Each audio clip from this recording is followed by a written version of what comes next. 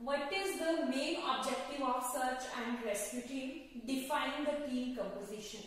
ठीक है कि सर्च एंड रेस्क्यू टीम का मेन ऑब्जेक्टिव क्या है और टीम कंपोजिशन को डिफाइन कीजिए तो search and rescue is a technical activity which is done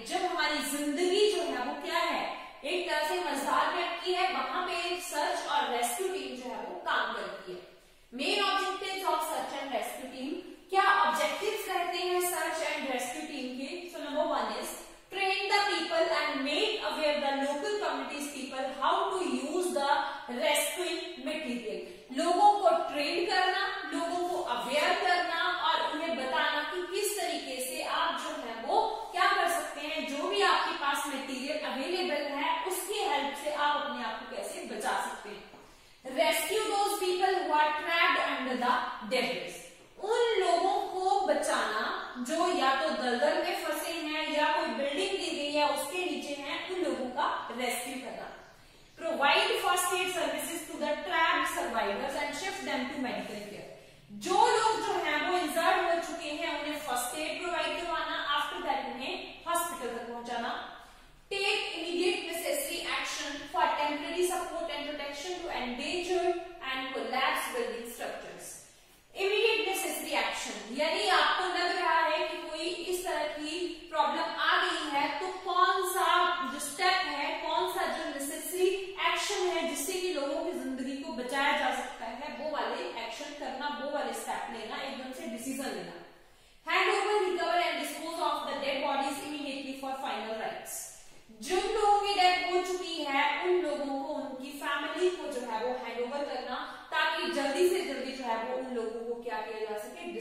of किया जा सके। टीम कंपोजिशन का भी हमसे यहाँ पे पूछा है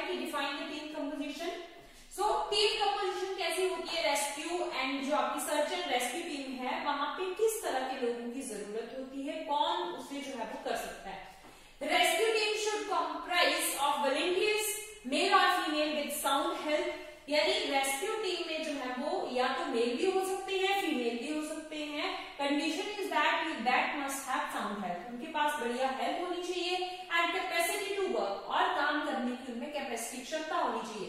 These volunteer should be above 18 years age यहाँ पे डिफाइन की है कि अप्रोक्सीमेट 18 ईयर से ऊपर ही उनकी एज है they should possess knowledge of reading and writing यानी उनमें रीडिंग एंड राइटिंग स्किल भी होनी चाहिए।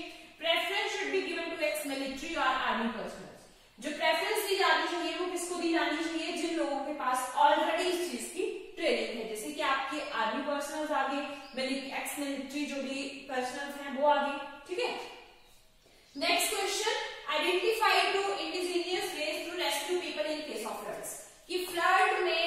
किस तरीके से लोगों को बचाना है रेस्क्यू करना है। So number one ropes ladders bamboos और sticks stretchers boards etcetera are essential to rescue suffering people क्या चीज़ें यूज़ करनी है आपने? Ropes ladders bamboos stick stretcher boards ये सारी चीज़ें आप फ्लड में यूज़ कर सकते हैं लोगों को रेस्क्यू करने के लिए। Inform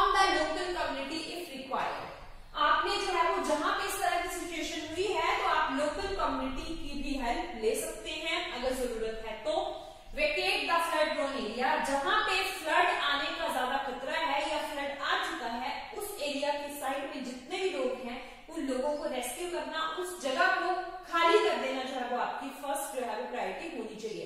Next question name three different ways to make a stretcher with the locally available resources. Very important question from the final examination point of view कि स्ट्रेचर बनाने के तीन तरीके बताइए।